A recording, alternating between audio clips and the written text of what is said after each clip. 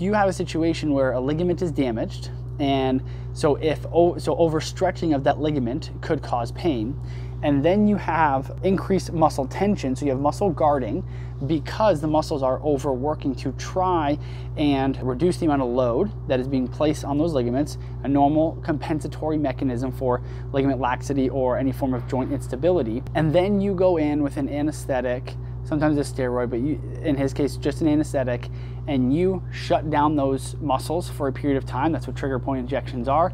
You inject some anesthetic in there, that kind of shuts them down uh, for a temporary period of time, and then they kind of uh, come back online. And that can then result in those ligaments being placed under more load, more stress. And so with him, when they relaxed pharmacologically with the anesthetic, relax the paraspinal muscles. I believe what happened was that there was now an increased demand, increased load on the ligaments that that his brain is perceiving as painful. And so because of that, he is then put into this pain spiral that he could not really get out of.